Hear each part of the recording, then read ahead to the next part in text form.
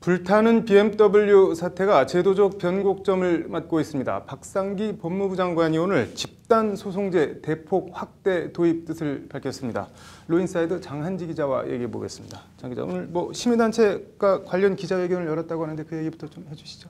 네, 그 라돈 침대와 BMW 화재 등 소비자 안전을 위협하는 사건들이 계속 터져 나오자 네. 이제 소비자 단체들이 오늘 국회 앞에서요 소비자 집단 소송제 법제화를 촉구하는 기자회견을 열었습니다. 네.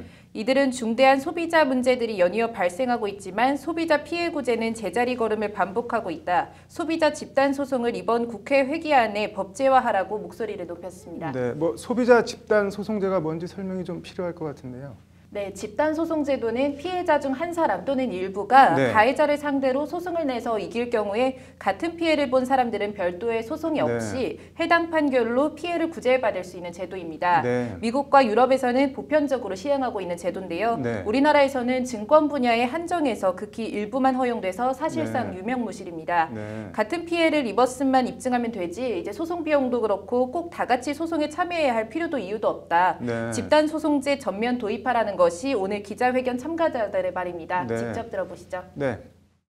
우리 표현이면 호갱이라고 얘기하죠. 한국에만 유독 유독 소비자 피해의 해결이라고 하는 것이 제대로 되고 있지 않은 거가 법제도가 제대로 정비되지 않은 문제가 있다라고 보고요. 일리가 있는 말인 것 같은데 박상기 장관이 오늘 뭐 집단 소송제 전면 도입하겠다고 했는데 어디서 어떤 말을 한 건가요?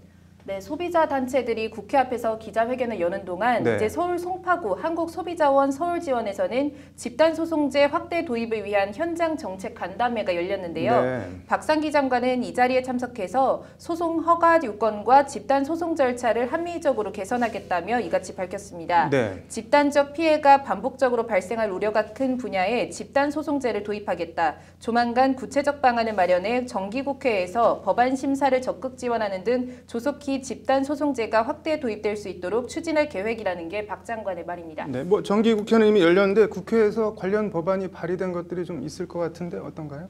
네, 이하경 의원, 백혜련 의원 등 여러 건의 집단 소송제 관련 네. 법안들이 발의돼 있는 상태인데요. 네. 집단 소송 대상을 침대나 자동차 같은 제조물뿐만 아니라 네. 위해식품, 담화, 부당 광고, 개인정보 보호 등 한마디로 기업들의 이런저런 불탈법 행위로 인한 피해에 이제 집단 소송을 도입 실시하는 내용들입니다. 네. 뭐 관련 법안들이 이미 여러 건 발의돼 있는데 법무부는 그러면 뭘 더 어떻게 추진하겠다는 건가요? 네, 여러 건의 집단 소송제 관련 법안들이 이미 제출된 만큼 네. 법무부는 독자적인 정부 법률안 발의보다는요. 네. 기존 의원 발의 입법안 통과와 처리에 집중할 방침입니다. 네. 법무부 관계자는 이와 관련 법률 방송과의 통화에서 국회에 계류된 법안들이 꽤 있기 때문에 그것들에 대한 의견들을 각각 제시하고 법무부 의견을 추가로 제출할 예정이라고 밝혔습니다. 네. 단순히 도입에 그치는 게 아니라 실효적 운영이 될 수 있도록 네. 집단 소송에 관한 증거 조사의 특례 인정 등 시민 단체들의 의견들을 적극 반영할 것이라는 게 법무부 관계자의 설명입니다. 네. 직접 들어보시죠. 네. 피해자분들이나 전문가분들이 집단소송제도를 도입하는 것뿐만이 아니라 그 집- 도입된 집단소송가 실효적으로 효과적으로 쓰이기 위해서는 절차적으로 개선될 필요가 있다. 대표적으로 이제 말씀하신 어, 증거조사 관련해서 개선이 돼야 집단소송제도가 효과적으로 쓰일 수도 있거든요. 네, 집단 소송제 해야 할 제도라면 신속히 제대로 만들어서 시행했으면 좋겠네요. 오늘 잘 들었습니다.